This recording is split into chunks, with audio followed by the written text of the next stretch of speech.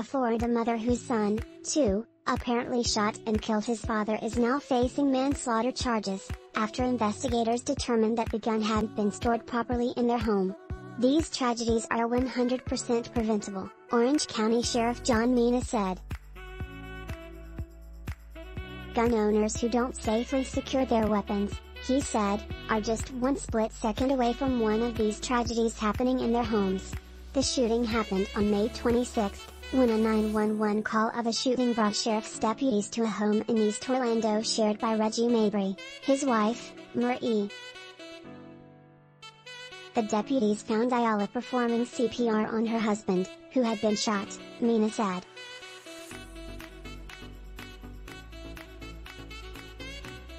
But Mabry, 26, was pronounced dead after first responders took him to a local hospital. It was initially thought based on the evidence that this could be a suicide, Mina said. But at the hospital, homicide detectives learned Mabry had been shot in the back.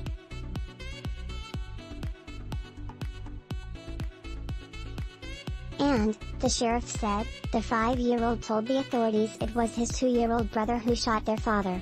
The gun was left in a room the couple shared with their children and was easily accessible even to a two-year-old, Mina said.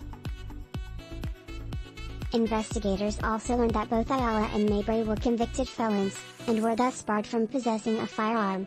The sheriff did not provide an explanation for how the pair of felons were able to obtain the gun. Under Florida law, loaded firearms must be stored in a locked box or a similar spot, or disabled with a trigger lock if they're in an area where a child under 16 can reach them. Now these young children have effectively lost both of their parents, Mina said. Their father is dead. Their mother is in jail, and a young child has to live their life knowing that he shot his father.